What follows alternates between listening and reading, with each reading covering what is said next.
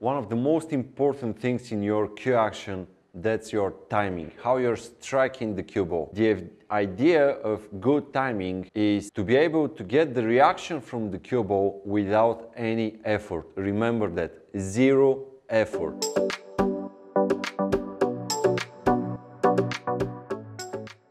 Here are two tips for better timing, very good ones to make your cue action much better. The first tip is to accelerate through the cue ball, but you have to accelerate very slowly through the cue ball, not to rush into the cue ball because that will make your cue action jabby.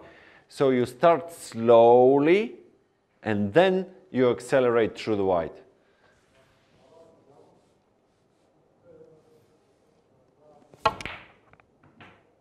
Very good timing.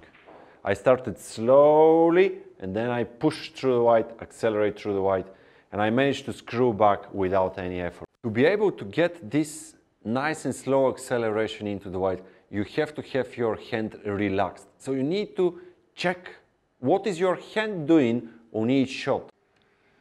So on each shot, you have to be concentrating on these two things. To start slowly and then to stay down to check if your hand's relaxed. Okay, my hand's relaxed.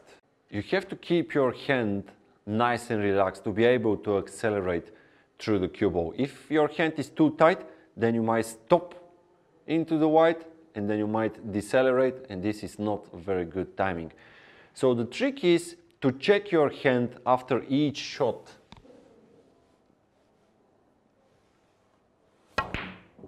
So I stay down after the shot. I see that my hand, I feel that my hand is relaxed and then you get up. So check your hand on each shot and try to keep it relaxed on the finish. Stay down, my hand is nice and relaxed and I know that my timing is good.